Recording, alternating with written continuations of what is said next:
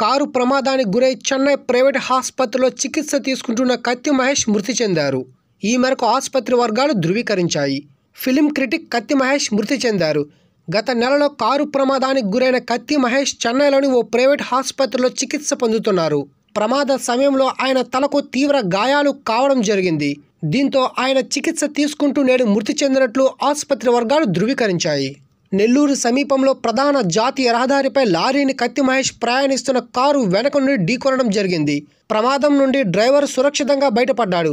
అయితే seat belt ధరించని కారణంగా కత్తి మహేష్ తీవ్ర గాయాలు పాలు కావడం జరిగింది. అతని చికిత్స కోసం ఆంధ్రప్రదేశ్ ప్రభుత్వం పదిహేడు లక్షల రూపాయలు సీఎం సహాయ నిధి నుంచి విడుదల చేయడం జరిగింది.